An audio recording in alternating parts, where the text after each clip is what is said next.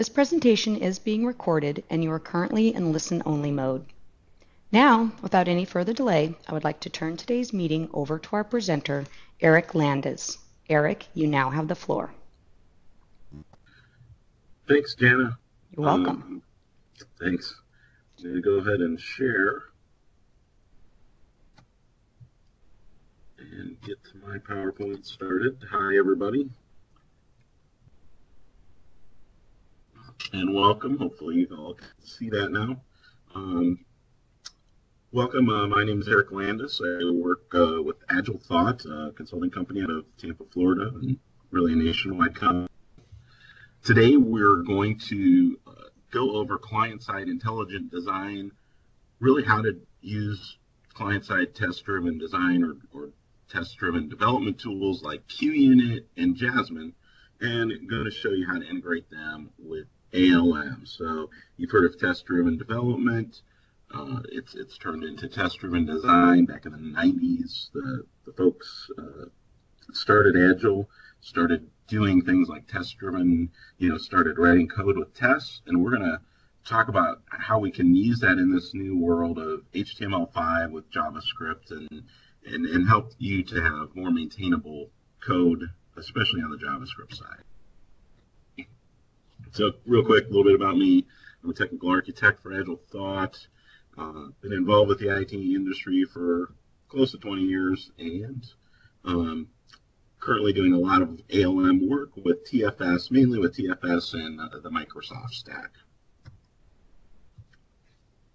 So uh, to kind of go over our agenda today, first I'm going to give you an overview of test-driven development, where, where this is coming out of, or test-driven design, as we talked about it, and shall tell you how we can practice that.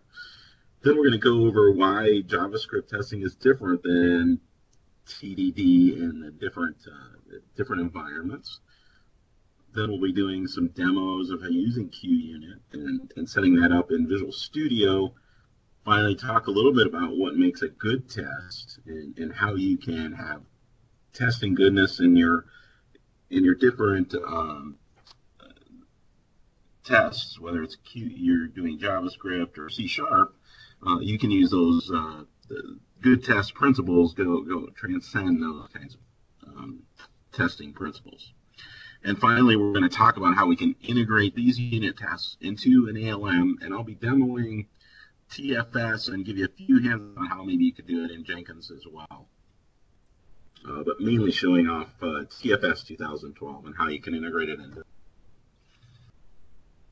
So let's get started and really talk about test-driven development and why that's important. So let, us talk about you know developers testing. A lot of times, most of a lot of developers I work with, uh, they're very reluctant to start automated testing, and they just want to code, you know, and and start coding and get the code done, and I'm sure it'll be good. Back in the nine, you know, back in the late '90s, early 2000s, when test-driven development started, there there was a lot of uh, reasons to start your your coding with a test. And, and Kent Beck and some other folks really took this to task. Uh, and I highly recommend that book. Kent Beck has a book on test-driven development. If you haven't read it yet, it's test-driven uh, test-driven development by example. So he kind of started this whole test-driven movement, and um, along with some of the other XP folks, so like Ron Jeffries. And to be a good developer, really, it's um, nowadays uh, something that you need to have in your testing toolkit, in, in your development toolkit. So if you talk, if, if you go to any of the software craftsmanship movements, I have been to meetings with uh, Uncle Bob Martin, who's another uh, name that's out there. They really emphasize test-driven development, and I've even heard Uncle Bob say if if you consider yourself a professional development you, developer, you should be. We, we assume you're doing test-driven development or TDD. So so again, these are some good reasons why we want to bring this TDD attitude to the, to the client side, and and to and we'll talk a little bit about why do we call it test-driven design? So what happened, um, the Agile folks really thought about uh, using test-driven development as a way to maintain your application and to also ensure that you're meeting, you know, the, the, the requests of the, the, the stakeholders or product owners, depending on how you're doing your development. Uh, what, what happened is uh, they found as we got to more complex applications and developing more complex software, we started talking about using tests to actually drive the design of our code or the architecture of our code. And so uh, you heard terms like emergent architecture come out. Uh, out of this movement, out of the agile movement, which emphasizes having some architecture, but really not doing big design up front, but rather designing as you go and designing what you need. And if test-driven development and test-driven design, it really helps you to design that architecture and design your application in a way that's maintainable and scalable. Um, and by using tests first, you keep your code coverage high and keep it high immediately. So code coverage, we'll talk a little bit about code metrics a little bit later, but that's a metric that's a basic one that you want to get a hold of with your team and make sure that your team has a decent level of code coverage uh, and, and, back in the day, uh, this was, you know, happening with Java shops. C Sharp shops have all those tools as well, and we can tell pretty easily what our code coverage is using tools um, like NCover. Visual Studio, of course, has some. The 2012 has some very nice tools to show you what your code coverage is. So if we start in the beginning with test-driven design, you can do a lot of things because your your tests will always help you in maintaining your application. So with test-driven design, we start with our test. Then we iterate, and then we refactor. So for example, uh, let's say I'm doing a a system that's, and this is kind of a simple example, but I think it's one that really should help you understand what we mean by uh, starting with the test. So let's say we're writing an application to keep score of a bowling game. So I think most people understand bowling and uh, probably have a grasp, uh, some kind of grasp of how we score when we bowl. So again, this is a good way to introduce you to uh, test how you do test-driven development and test-driven design. So if we start with our test on a bowling game, uh, scoring bowling scoring, what we want to do is create a test that will, um, we know there's a frame, and within a frame you bowl twice. So we want to ensure that if we bowl twice, that our program actually gives us an accurate score. So what we'll do is we'll start with a test, let's say a test that says I roll a 0 and a 1 in the first frame, and then we will ensure that our score is 1. And then we'll start, we'll go with 2. And then, um, so in the next frame, we'll do, or, or one frame, we'll bolt a 1 and a 1. That should add up to 2 for the frame. And then we'll start doing tests. Uh, we'll introduce tests for spares. We'll introduce tests for um, for strikes, and, and that introduces some complex logic. So as you keep going, you keep creating tests for those. And when a test breaks, that's a signal for you to refactor your, your code. So you're iterating, refactoring, and, and doing some design. My first uh, application that we worked on, as a matter of fact, in this manner, we started out doing TDD. Um, we were probably halfway through our, our application when the, the product owner came through uh, and, and mentioned that one of our assumptions on the architecture and the, in the data stack was a little flawed and, and it made a major architectural change. And so for our team, we, we were a little dismayed because that really impacted our code and we were afraid it was going to take us a month to, to refactor everything. Well, since we had very high code coverage, probably in the 90 percentile, and, and a lot of tests, we were able to refactor within a week. So um, using this test-driven design, we actually were able to re-architect and redesign our application uh, to a newer specification that was fairly different and still quickly um, come back and, and, we were assured that the application was still working. A lot of the other uh, really uh, complex business logic was still in there. So again, uh, when you're doing test-driven design, you start with the test. You don't start coding your objects. You don't start coding, um, you know, anything else or, or, your UI. You start creating a test, and you keep iterating and refactor. And, and the idea is you, you're fastly you're creating your application in a quick manner, so you aren't spending a lot of time thinking about how to design. As a matter of fact, you're spending less time uh, actually doing it and doing your code. So I'm sure you're saying, hey, Eric, that's all well and good. That sounds like really like an awesome way to to code, but how can my teams get good? We, we've never done this before. So there's there's a practice out there called coding katas. And a coding kata actually, based on uh, katas that you may have heard of in martial arts world, it's an idea of practicing and practicing software development. So, so with that idea of practice software development, uh, you can have a team do a coding kata uh, maybe once a week or, or once once once a day even. I've had teams that uh, 30 you know 30 minutes a day they spend coding an application, uh, and it's a small application. For instance, a bowling game, and uh, they create it and go through, create some scoring, get as far as they can in that amount of time, and when they're done, they throw it away. It's it's not uh, an application that you're going to use because we're practicing. So as people practice um, for other disciplines in software, this is one good way to get better at your craft. So I highly recommend folks to to look into doing something like a coding kata with your team and, and see how um, you might actually uh, benefit from your team learning how to do this. And there's a lot of different ways to do it.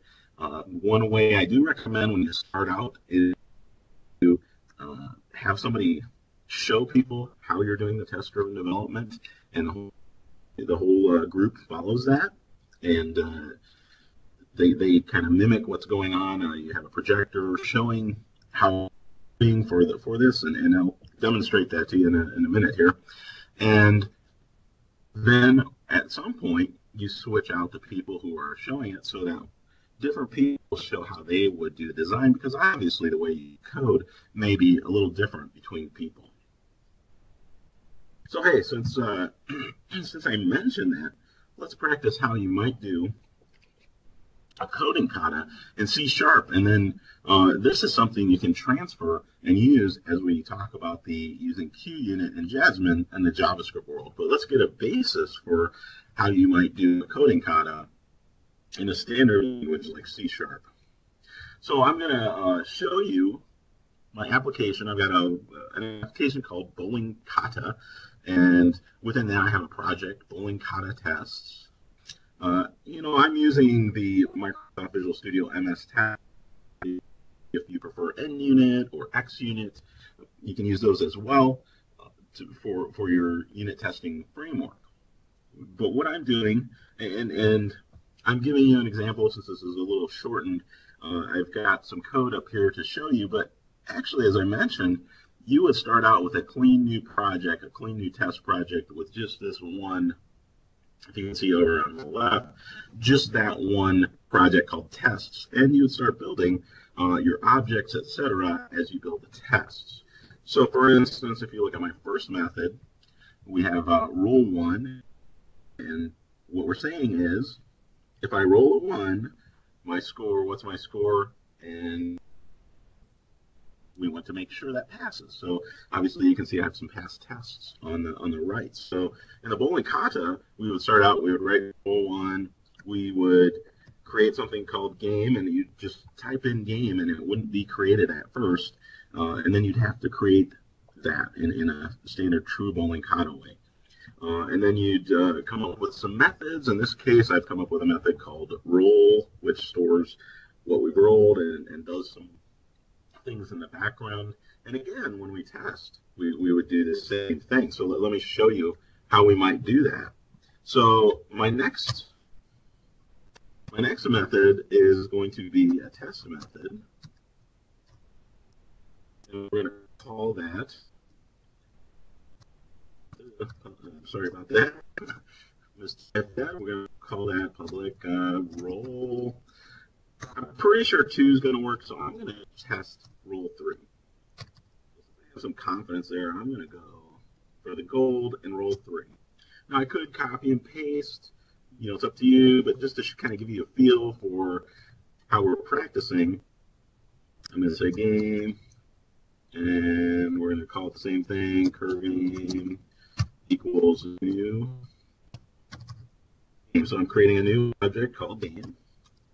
And we know that has some of the stuff I want, and I'm really going to, I'm going to roll a one. roll a two, and then I'm pretty sure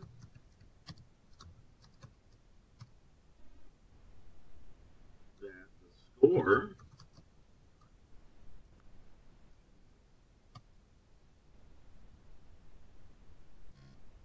And obviously within uh, Visual Studio, I can just run the test right here, Visual Studio 2012. So I right click within tests, say run tests, and now we see, hey, my roll three passed.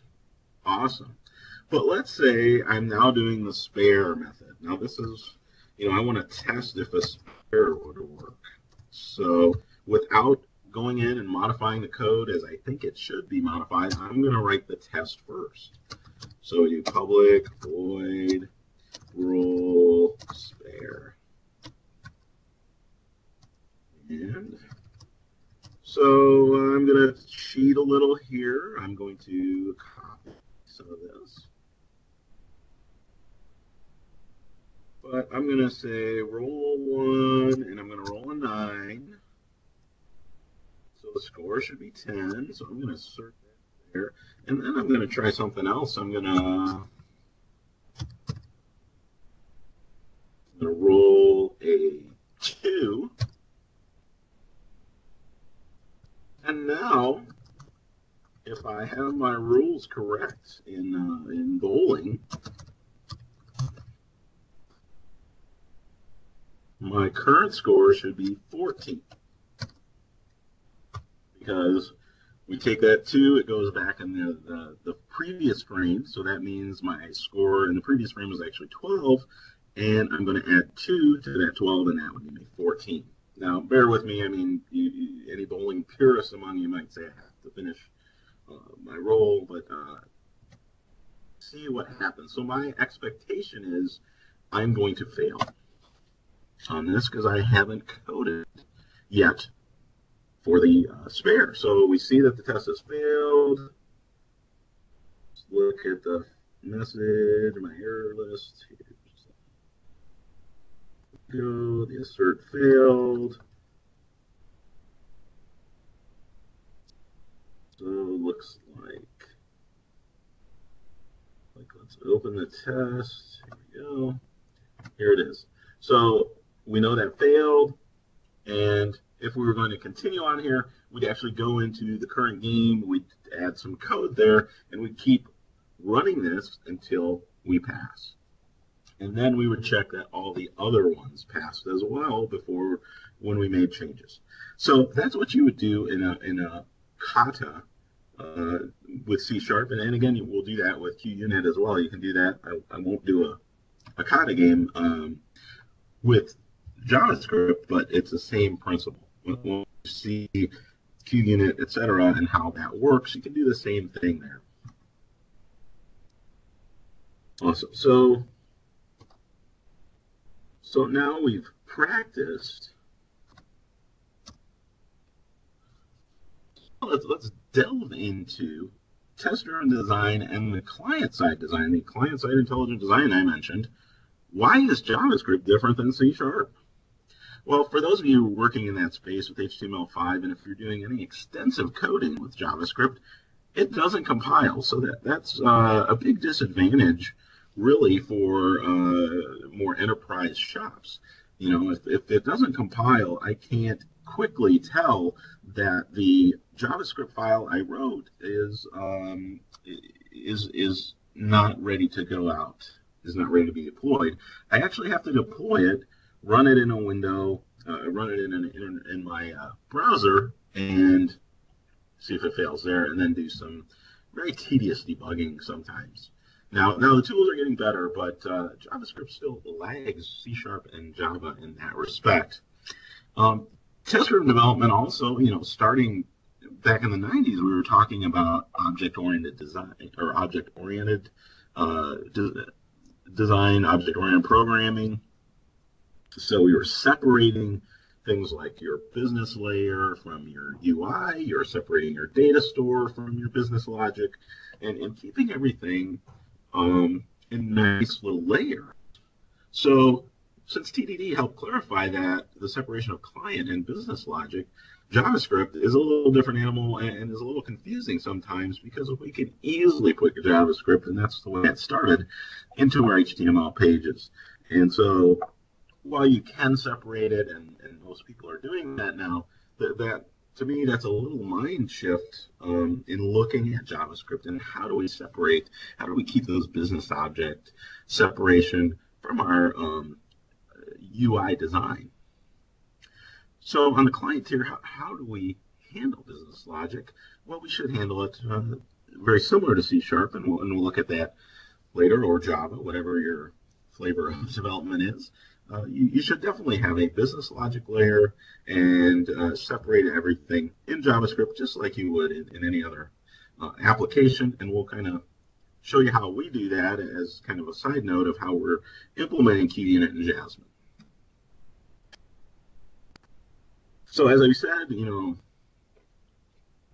excuse me, JavaScript is different you know, we're testing on web pages. Uh, so a lot of times, as I said, you're going to either deploy or locally, you're going to write some JavaScript, bring up a web page, and see if it works with your web page. At least that's the old way of doing it. Now in um, Visual Studio, we have some checking there, so you can check the check you can do some checking whether the JavaScript syntax is correct. So you can use something like JSLint or something like that, that that will help you at least make sure there's no, you know, fat finger type errors or, or anything obvious. But nothing's going to catch a compiler of, uh, you know, I'm referencing this object and it doesn't exist. You know, you don't capture that except through testing. So we certainly want to keep our business, we certainly can keep our business logic in JavaScript files. Um, a lot of the, the, apps that I'm working with were calling um, APIs to return data and not do and the APIs aren't doing all that much business logic. The business logic is actually happening in the JavaScript. So if business logic is happening there, we, we do need a way to test if we're uh, you know, worried about test-driven development, as I certainly am. So obviously, that's where we're what we're trying to do. Um, when we're saying JavaScript is different, we're trying to keep the same things we've learned that, that work well in the in the server-side world and bring them into this uh, HTML5 world because they work well. And let's let's let's continue doing the things that we do well in the software development world. So here is how JavaScript can be similar. We still want to write tests first. We're doing test-driven design. We want our tests to uh, really drive how we're designing that application, uh, the JavaScript part of the application, because usually you're combining that with some other uh, server-side uh, server-side type uh, programming languages. So we're going to write tests first. We're going to use abstraction for unit tests. So yeah, there, there's actually mocking uh, frameworks out there. I think JMock is one that you can use for your unit testing. So with your QUnit, if you don't want to, uh, you know, use your APIs right away, you know, maybe you leave your API, um, you're calling them APIs in your JavaScript for the integration testing And for your unit tests, you abstract that to a mock object or something. So that's certainly something doable. So we, we do have some similar tools in the JavaScript world. We can calculate some code metrics. Um, there is some code coverage uh, within uh, Visual Studio, and especially TFS 2012. You, you, can plug some of the QUnit stuff using uh, something called Chutzpah, which we'll talk about later. Uh, and that can actually be integrated with the code metrics that come out of the box in Visual Studio. You know, based on the way they're doing their new frame, the new unit testing, they're they're allowing you to use the unit testing framework that you want. So um, we won't get into that too much, but uh, excuse me, you, you, certainly can calculate the code metrics. So let's let's um, before before we go here, let me let me just show you what kind of code metrics are available, and, and these are the kinds of things that are really um, they're, they're actually very helpful for you, whether you're using JavaScript or uh, in the C Sharp world.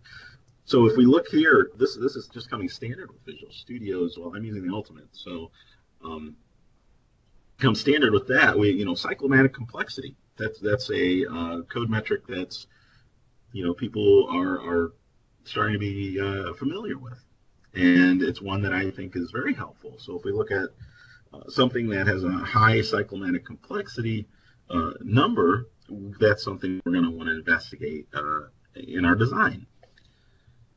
Other things, you know, code coverage, we certainly want to get those metrics as well. Uh, and, and, there's other ways to do that, but that's actually included as well. Here in Analyze, we can say what's, what's our code coverage for this solution. All right, so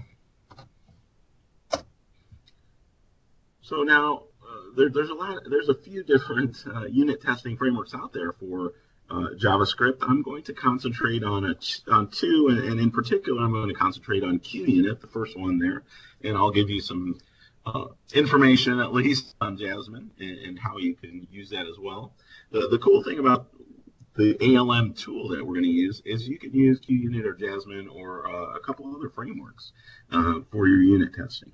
So keep that in mind. Uh, I, I, like QUnit. I just like the syntax. Um, it's it's very similar to some of the XUnit stuff that I'm used to, and and it integrates very well with uh, Visual Studio and on the Microsoft stack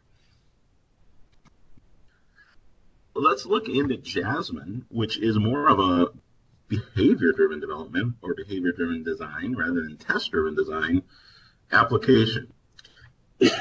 so, excuse me. So BDD, if you're not familiar with that, is is more of a scenario-based testing tool rather than a unit testing tool, which is more developer-focused. So our our unit testing tool, QUnit, a developer is going to create unit tests that tests very small functionality uh, styles, if you will, functionality of the application, and, and, and they probably aren't going to show those unit tests to any stakeholders or product owners. However, with Jasmine or, or some of the other BDD styles, um, SpecFlow in the in the uh, .NET world is one, and Cucumber is probably the most well-known uh, BDD uh, BDD framework out there, and that's for the Ruby folks. Uh, really, that those styles lend themselves to folks who aren't so technical being able to read uh, uh, the test, right? So they're they're actually tests in English language, and they say, you know, classic BDD um, syntax would be something like this: given a scenario, when I do something, then this result occurs. Uh, Jasmine isn't quite uh, that rigorous as far as the syntax it uses, but it's very similar in that it's doing a scenario and and it's very human readable, if you will, rather than programmer readable. Not that programmers aren't humans. Some people might disagree with me. Uh, the other thing with uh, Jasmine, of course, is it's Chutzpah supported, and that is pronounced Chutzpah. For a while, I was pronouncing it Chutzpah, and when I heard it pronounced a different way. So as you can see, here's a sample of what a Jasmine unit test would be like. We've, we're describing specification and we're saying what the specification does, and then you're doing some code here. But uh, as I said, you know, maybe you could do this with comments in your unit test, but most people aren't going to do it. Uh, this kind of forces you to actually make things human readable. So uh, if you're a fan of that, and, and I certainly am, this might be a way to go so that so that you can show it's something you can actually show uh, non-programmers when you want to run unit tests and say, hey, this unit test is passing, and they will understand what the unit test is actually for. So QUnit, um, QUnit is actually a test-driven uh, development style framework. So we we are very similar to NUnit and XUnit frameworks use uh, equal to, to assert for past tense. So there, there's some very similar syntax there. It's similar in concept to how it works. Again, it's Chutzpah supported. Um, QUnit actually, there's a NuGet package you can uh, install in Visual Studio if you're using Visual Studio. So it's very easy uh, to get a hold of. And um, actually integrating it with your HTML and with your uh, JavaScript libraries, it is fairly straightforward.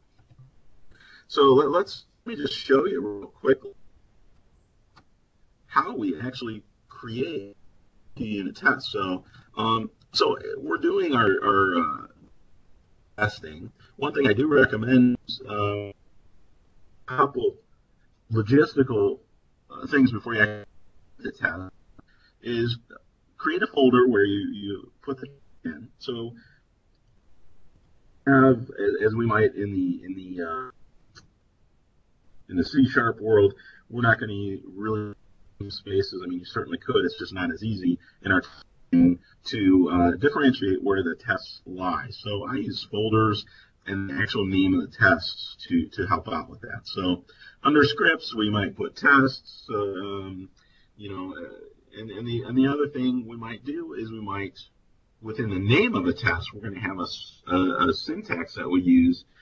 Uh, so it might be UT for unit test. It might be, um, you know, I would say INT for integration type tests. And, and for QUnit tests, you could even put QUT. The reason I do that is, in, especially in TFS, if I want to run tests, I can apply a filter that would say star dot, you know, qut.js, and that would run all my JavaScript tests. So, so that's pretty helpful, especially if you plan that up front. So I highly recommend you plan that up front and, um, you know, make sure the whole team is, is doing that consistently. So great. So we're talking about that. As you can see, there's a sample of what the tests look like. This is a QUnit test. we say test first in parentheses. Um, we, we, enclose the test within parentheses and we give it a name. Then we have a function after that. The, the name is for the function. And then we do our JavaScript within there, and we use equal to do the, our asserts. Now, when you first start out, you're going to want to uh, do that, you know, you're going to want to have a HTML uh, page to, to run this in. So uh, I, oh man, excuse me. I recommend just give me a second here and then open my the folder here. But I recommend, um, you know, have, having at least a test page just to so you, you can see how the tests are working quickly. And when we get to Chutzpah, you'll see that the, they also include in your test explorer. But it's nice to have a, couple different ways to see it. So as you'll see in my HTML page, um, pretty standard HTML, except we're going to link to the QUnits style sheet. Um, we're also going to have some headers that say, excuse me, what this test is doing. Then we link to the QUnit uh, JavaScript file library first and then we uh, link to our tests first. So what happens if I run that. So let's uh, let's go down here. Let's just open that up here. See what happens. So apparently there's some blocked content here. And it's running. We're testing Hello World.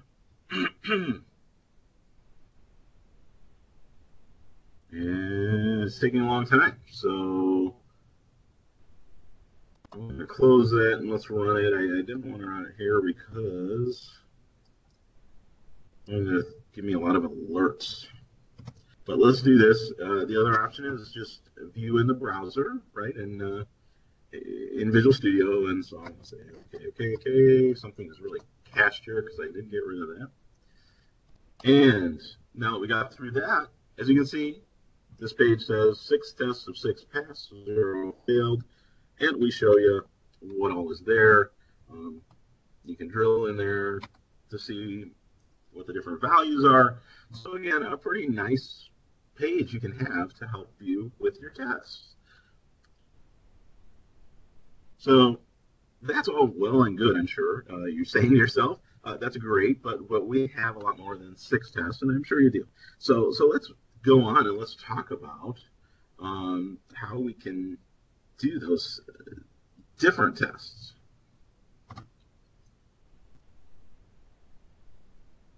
So let's talk about we, we, we know how to test.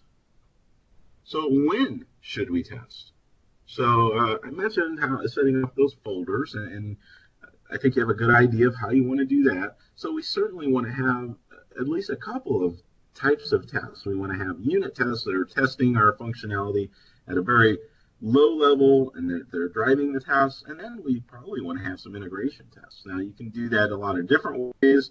It's definitely a nice way to at least do some integration, uh, maybe taking your unit tests and having them go against the APIs rather than against a mock framework, for instance. So there's some different ways you can do that, but I, I would recommend having those different types of tests. Um, we want to make sure that we our, our integration points aren't failing for some reason programmatically, and we want to make sure that we run those integration tests at the right time. So we probably want to give the integration tests a different naming convention. So we run those on different builds than we would run our unit tests.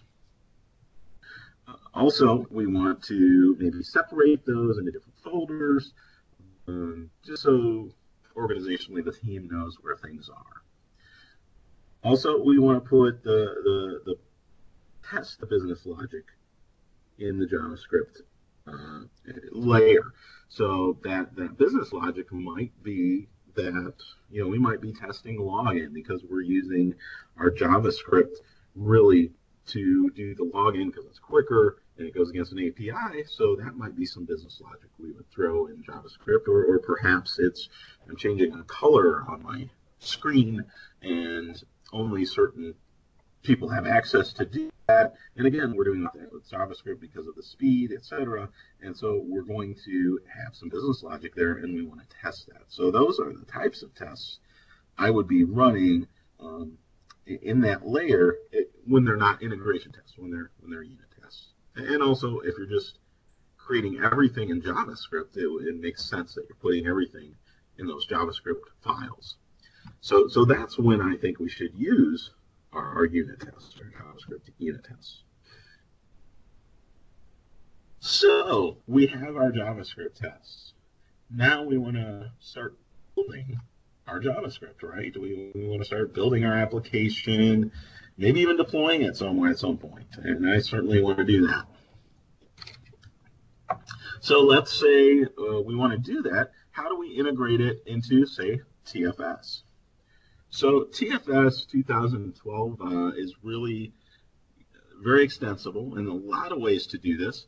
But the nice thing is there's a, there's an open source um, tool out there called Chutzpah, and that's really the secret to how you can implement that um, into your ALM strategy. So uh, I might as well just show you how, how that works. So Chutzpah, um, let me kind of close all these things up. But you'll notice in my application, I uh, in my solution I have something called libs, and, and under there you see a lot of chutzpah DLLs, and there's actually this PhantomJS is actually uh, a headless um, a headless browser to run your your JavaScript tests. And that's kind of the key of how we want to do this, right? That, that's kind of the key of how we want uh, really to, to run our, um, our, our ALM here. So one of the things we need to do is we need to make sure our build our build uh, controller, our build server knows where these are. So first thing we have to do, we set up Chutzpah somewhere in our source control. And then we make sure that uh, our build controller points to that. So if those of you familiar with TFS, we should be able to go to manage build controllers. We go to our properties and we should see right there we have a version control path to custom assembly. So we need to point that to where the chutzpah files are so that when we run our build and it runs the tests, it actually uh, has access to those DLLs. Another option would be to just install it on your build controller at a, at a place that makes sense to you. Um, this this might be the easier way, and I would assume it's a recommended way. So so that's one thing. That's how it's set up to actually do our testing um, within ALM. So now we've done that, how, how do we run our test? So let's let's go back here. Let's um, the build as I have set up. If you look, I have a CI demo. Um, let's just look at ran, hopefully in the last month, I think it's, it's something. And we'll see here, uh, demos run. Build was successful, very good. They have a lot of warnings though, unfortunately. Um, need to work on that, right? But if we look at our log, we should be able to see some awesome tests. So we're looking at our tests, build log file.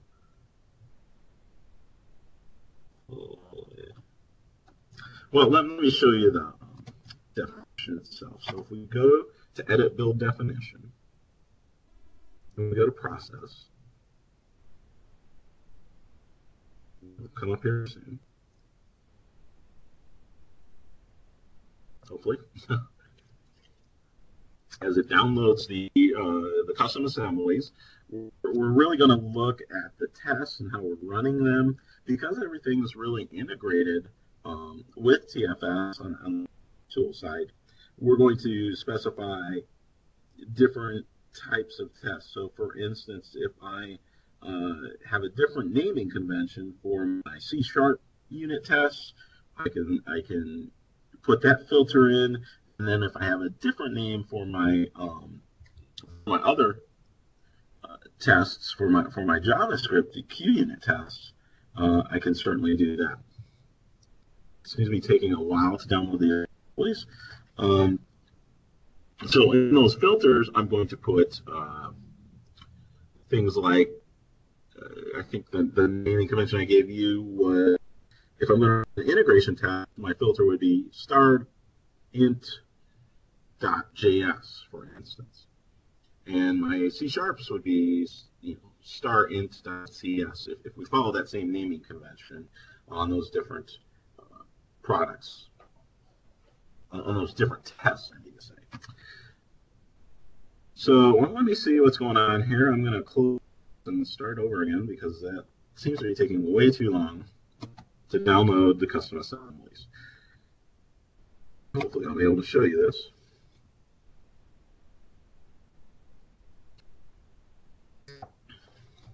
So um, as we're doing this, the, the main thing, you know, we, we might have a continuous integration build, and that's where we're going to, that's a CI build, and that's we wouldn't be doing any integration tests here. We won't be filtering for integration tests in this particular build. But for, say, a nightly build, we might be doing that. So, so keep that in mind as you're creating your builds. Um, it's it's one one way of really uh, making sure that the different tests work at the different times. Because if you if you're going against like a live data store or you're going against a live websites in your CI builds, those are happening a lot more frequently than let's say your your nightly build. So your nightly build would have lots of times to build, but if your CI build is taking you know 10 or 15 minutes to run, um, you don't want to add that additional time um, of connecting to web services and connecting to data stores to that CI build. So I'd run unit tests that are as quick as possible to keep that CI build very light and nimble. Well, I hate to shoot. This particular demo seems uh, part of the demo uh, seems to not be behaving. So uh, I'll come back to that later. See if there's anything else here I need to uh, talk to you about. Well, obviously, workspace, you know, you set the build up to go to your appropriate uh, source control folder. Um, but the process is really what we wanted to show you, unfortunately. Um, but basically, you, uh, you, you would set it up in your process template to, that, to fail on uh, tests, that, to have your tests fail the build if the test didn't pass. The nice thing about this being integrated is there's some other, uh, you have, get a lot of quality information in TFS when you link your testing to to this uh, to your builds. So um, as you can see, you can assign quality to the builds, uh, and you can automatically do that as well. You can have it automatically happen as well.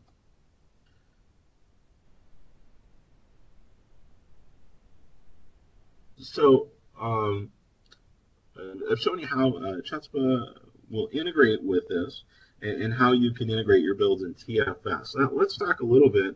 If you're not looking at TFS, you, you can utilize Jenkins. And let's see if, here we go, I've got that open. Um, and I actually, I'll be honest with you, this was uh, kind of a last minute thing trying to show you how to do this in uh, Jenkins. But Jenkins is a uh, open source CI um, build server, so that is something you can actually use as well. Uh, Jenkins, the way you would configure it. So let's see if I can um, remember where, where we're going to do this. You can actually, uh, at the end here, you could add a Windows command in Jenkins and, and use Chutzpah. Um, they have a command line to to run your tests in Jenkins, and that's the way I'd at least start out with. Uh, but there's there's probably other ways to do it as well. unfortunately, I don't see uh, an add-in to Jenkins to, to run Chutzpah, but um, that's definitely one way you could do it with your QUnit. So, so there are, this isn't just for TFS, you can use this in, in a lot of different environments.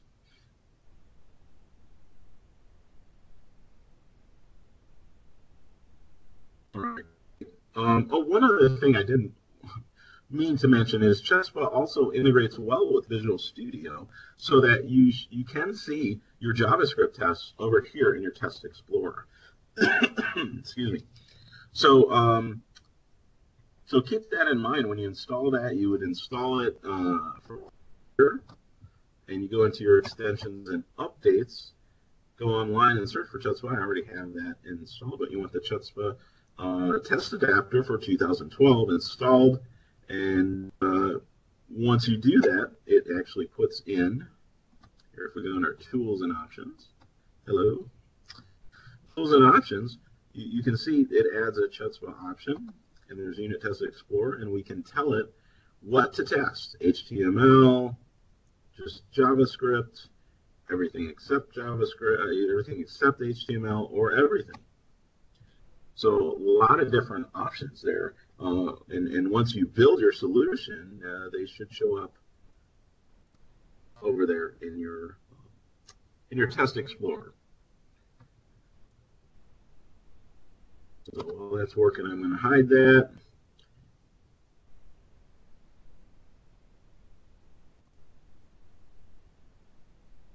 And let's and and that's really how you integrate this with with your ALM solution. Um,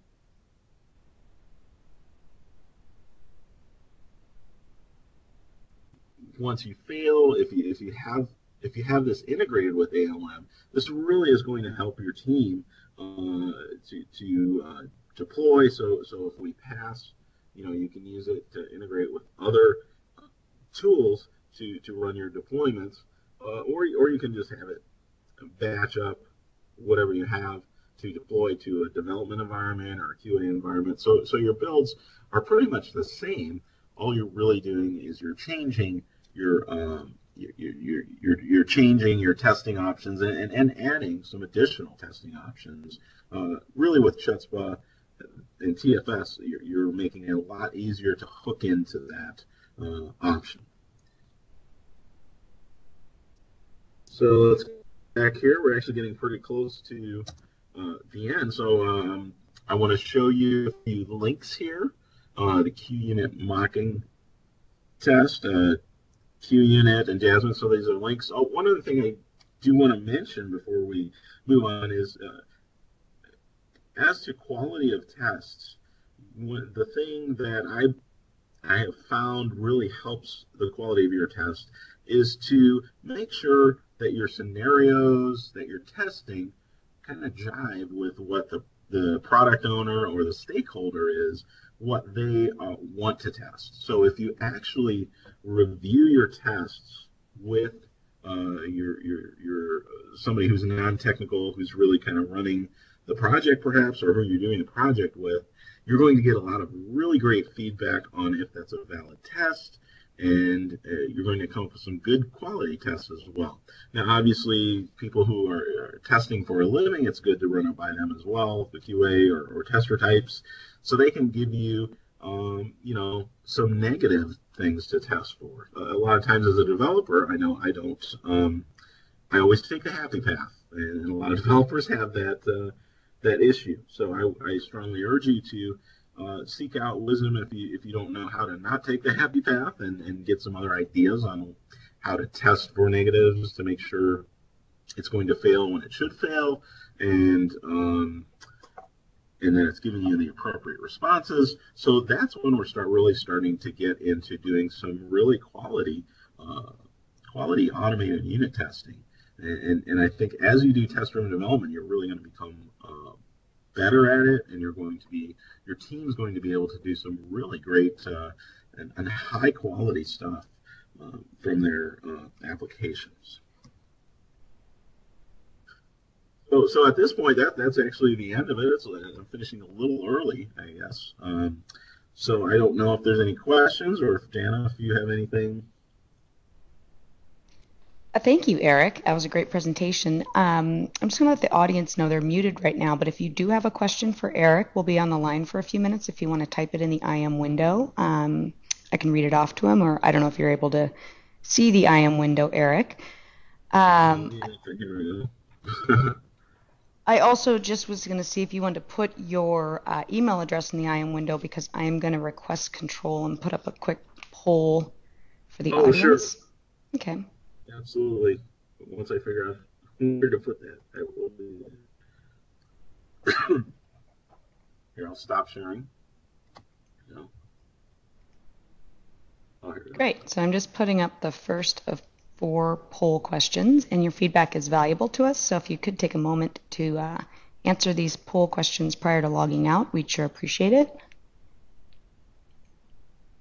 And as a reminder, you can request a copy of our slides uh, for the presenter today directly in the IM window or make a request to him via his email address at AgileThought. If you want to put that in the IM window if you get the chance, Eric, that would be great. Yeah, I'm trying to. I'm a little You're trying to. Uh, window challenged right now. you know what? I'll put it in there for you in just a minute. And I'd like to thank Microsoft partner AgileThought and speaker Eric Landes for their presentation today. AgileThought presents client-side intelligent design, when and how to use client-side test-driven design tools like QUnit and Jasmine while integrating them with ALM. Oh, here we go.